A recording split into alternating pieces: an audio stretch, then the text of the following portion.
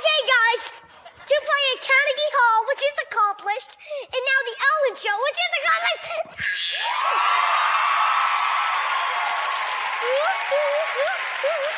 Ah, that's me, that's me, that's me. Yeah. Oh, look. My beauty. I'm at Carnegie Hall. Yeah, you played Carnegie Hall. That's a pretty big deal. And it's a big deal talking to a beauty like you.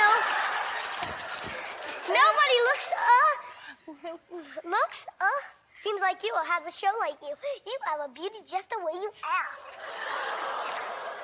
Wow, you are just just on fire today, aren't you? Yeah, I guess so. I didn't know.